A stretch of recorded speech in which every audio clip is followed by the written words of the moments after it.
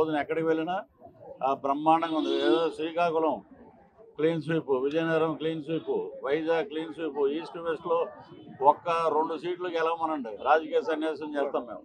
అలాగే కృష్ణా గుంటూరు నెల్లూరు ప్రకాశం డిస్ట్రిక్ట్ చిత్తూరులో కూడా సగం సగం పోయినసారి వాళ్ళు పదికి పది పదికి తొమ్మిది అనేది పదికి పది అనుకుంటా అలాగా కడప రాయలసీమలో కూడా గట్టి పోటీ ఇస్తున్నాం సగానికి సగం పైన వాళ్ళ సీట్లలో కూడా మేము గెలుచుకుంటున్నాం.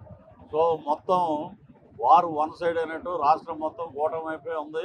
ల్యాండ్ టైటిలింగ్ యాక్ట్ అనేది మంచి బాగా గుర్తు చేశారు పాయింట్.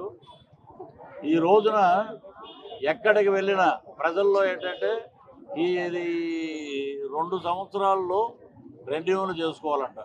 రెండు సంవత్సరాల్లో రెన్యూవల్ చేసుకోకపోతే మనం ఏదైనా పనుల్లో పడి రెన్యూవల్ చేసుకోకపోతే కోర్టులకి వెళ్ళటానికి కూడా లేదు.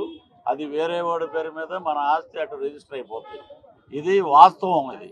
వాళ్ళు ఎన్ని రకాల బెదిరించిన చంద్రబాబు గారి మీద లోకేష్ మీద కేసు కేసులు పెట్టినా అవన్నీ కరెక్ట్ కాదు. నేను అంట అతను ఏం నారాయణ చెమటలు పట్టే ఫ్యాన్ అయ్యమంటావా? అని అడిగా.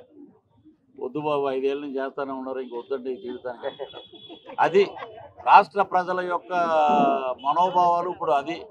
ఎక్కడికి వెళ్ళినా ఏంటంటే ప్రజలు ఏంటంటే ఈ దుర్మార్గ పరిపాలన అర్థం చేసుకున్నారు కాబట్టి బటన్లకి కొంచెం కష్టం. బటన్ నొక్కితే ఆయనకి పేరు వస్తుంది కానీ మాకెందుకు పేరు వస్తుందని అక్కడ ఉన్న ఎమ్మెల్యేలు చాలాసార్లు అన్నారు. ఇప్పుడు మరలా రెండు బటన్లు నొక్కమనంటే మేము నొక్కమండి. మేము డైరెక్ట్గా రెండు బటన్లు ఒకటి ఎమ్మెల్యేకి ఒకటి ఎంపీకి అద్భుతమైన తీర్పు ఇస్తాం వారు వన్ సైడ్ చేసేలా విధంగా చేస్తామని చెప్పి ఆంధ్ర రాష్ట్ర ప్రజలంతా ముక్తకంఠంతో మాట్లాడుతున్నారు. For more videos like this subscribe big TV channel